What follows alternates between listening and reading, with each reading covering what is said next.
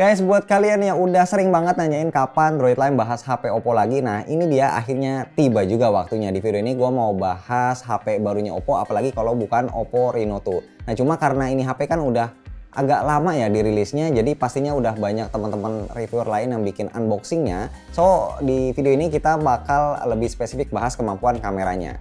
Buat reminder aja Oppo Reno 2 ini punya setup quad kamera masing-masing 48 megapiksel itu lensa utamanya, terus ada lensa 13 megapiksel telefoto, 8 megapiksel ultrawide sama tambahan 2 megapiksel monokrom. Sedangkan kamera depannya single 16 megapiksel pop-up. Nah biar nggak boring, gue mau nyeritain pengalaman tim Droid Lime termasuk Putih waktu jalan-jalan ke Malang bareng teman-teman reviewer lain kayak Melisa dan juga ada Gadget Empire buat nyobain kamera Oppo Reno 2. Jadi tuh kita rombongan media berangkat dari subuh dari Jakarta dan nyampe di Malang itu jam 9 pagi. Destinasi pertama langsung menuju ke Jatim Park 3, tepatnya ke area Dino Park.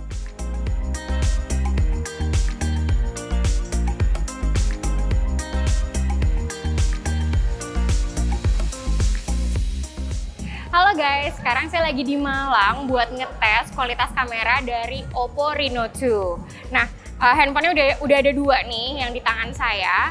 Dan khususnya sekarang saya itu lagi ada di Dino Park. Dan ya kita bakal banyak hunting-hunting foto sama ngerekam video juga selama saya di sini. Jadi ikutin aja. Yuk.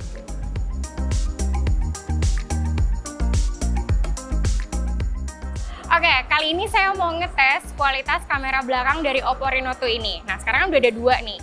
Dan saya akan ngebandingin dengan Ultra Steady Mode-nya yang on sama yang enggak. Mau lihat kualitasnya?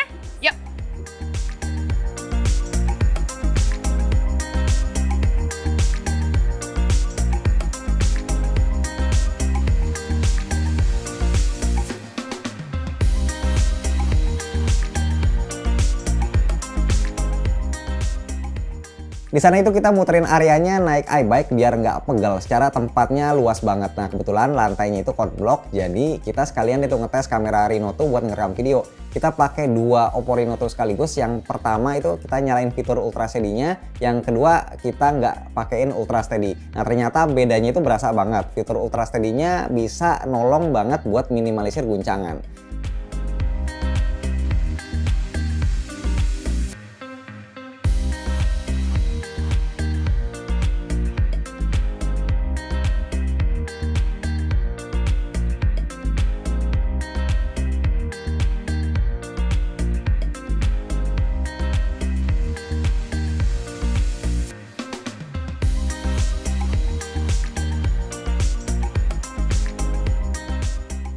Kita juga sempat iseng-iseng nyobain bandingin kamera depan Reno tuh buat ala-ala ngevlog gitu antara pakai fitur bokeh sama nggak bokeh dan ternyata agak di luar dugaan efek bokeh videonya lebih rapi dari ekspektasi gua.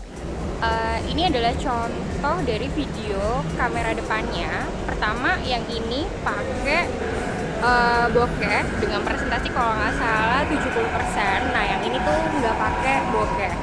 Jadi beginilah hasilnya. Kita lihat.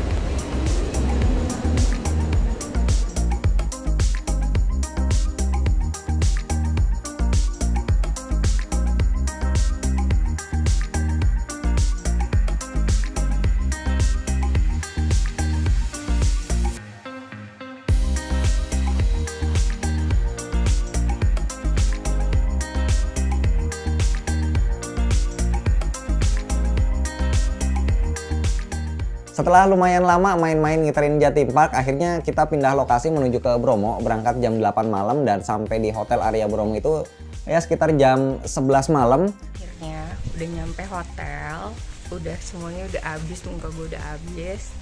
Uh... Uh, itu kita langsung tidur karena udah pada kecapean banget. Tapi kita tidur juga nggak terlalu lama karena jam 3 paginya semua rombongan udah pada siap-siap buat menuju ke puncak Bromo naik jeep. Terus terang ini jadi pengalaman yang seru banget karena kita baru pertama kali nih ngerasain ke Bromo. Oke ini di jam 3 pagi sudah bersama tangan, sudah beriringan, sudah dengan uh, udah dengan semuanya. Sekarang kita mau naik jeep, ya kan? Kita nanti kalau udah di atas kita kabarin lagi. keluarga istana yang paling adalah keluarga Selain naik jeep, kita juga pastinya ada jalan kakinya juga, naik anak tangga yang lumayan banyak dan cukup melelahkan. Tentunya di sana juga banyak yang nyewain kuda, jadi cukup terbantu juga nggak melulu jalan kaki. Nah, tantangan yang lumayan berasa itu adalah banyak debu dan juga suhu yang ada kalau nggak salah itu ada di bawah 10 derajat Celcius. Tapi semua rasa capek itu akhirnya terbayar lunas karena kita bisa dapetin pemandangan sunrise yang luar biasa mantap. Di sini kita sekalian nyobain fitur hybrid zoom dari Oppo Reno 2 yang hasilnya kayak yang bisa kalian lihat sekarang ini. Dan pada akhirnya gue nyampe di Seruni Point. Gue gue nyampe di Seruni Point. Terus belakang gue udah sunrise.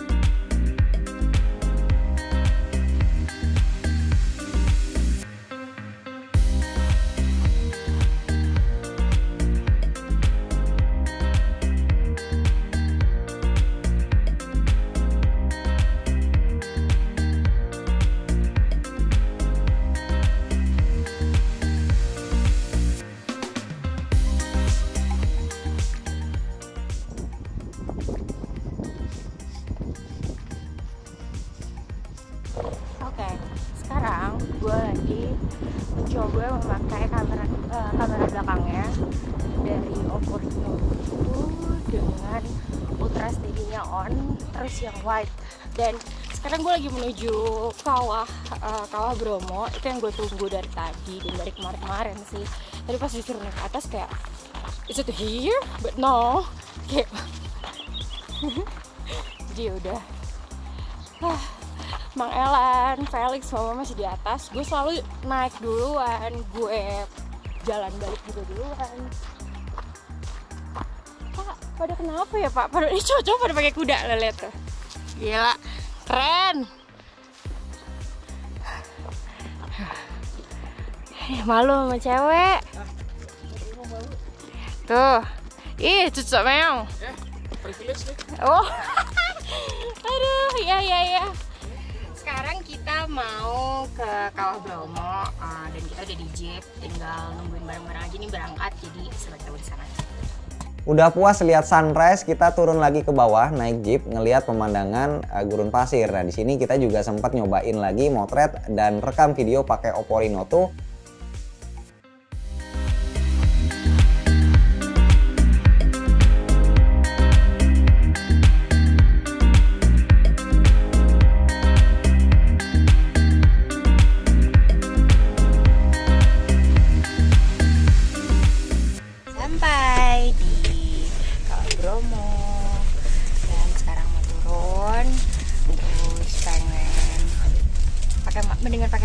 apa yang kayak gitu ya mak?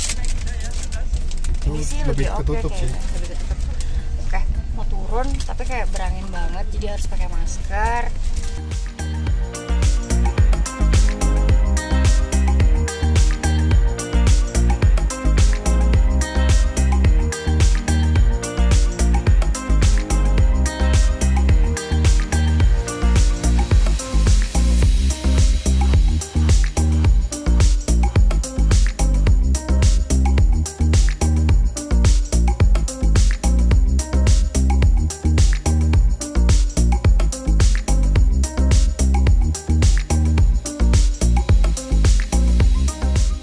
Terus lanjut ke Taman Edelweiss dan Bukit Teletabis sambil nyobain keliling naik kuda eh, sambil ngerekam video.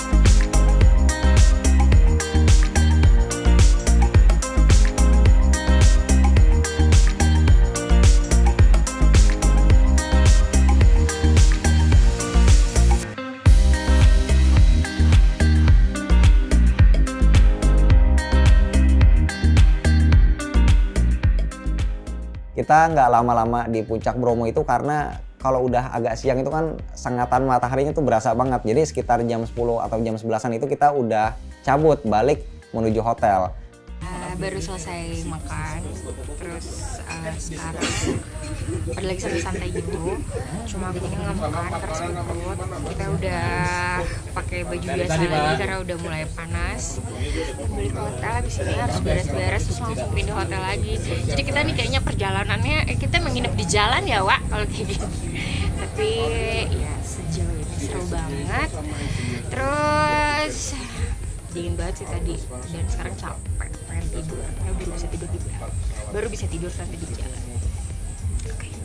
Pas di jalan ketemu ada banyak bunga matahari yang pastinya itu rada susah ditemuin kalau di Jakarta. So akhirnya kita nggak mau buang kesempatan, kita motret-motret dulu sekalian nyobain fitur ultra makronya Reno 2.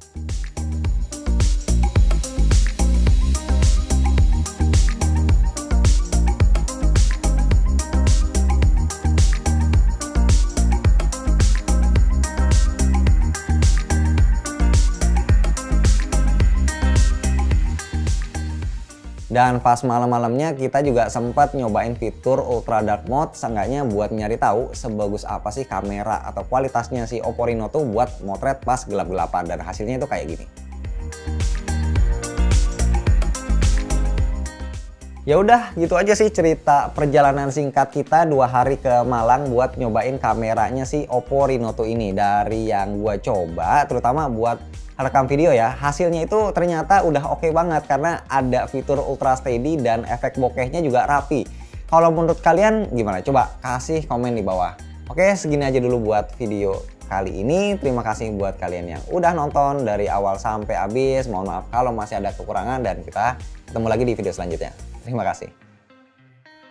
Oke terakhir ini dia rangkuman perjalanan kami uh, selama di Bromo menggunakan Oppo Reno 2. Enjoy!